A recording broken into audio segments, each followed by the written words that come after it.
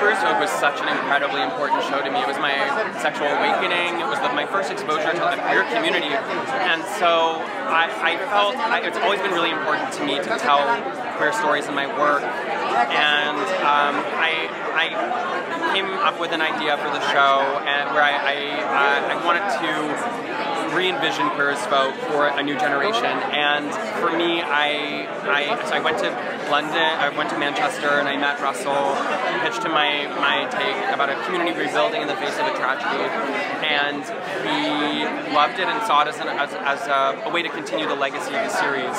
Um, and um, yeah, it's been a dream come true, really. It's such an honor. I love it. I mean, the show is set in New Orleans, so, you know, which is one of the most unique, diverse, intersections of queerness, uh, maybe anywhere.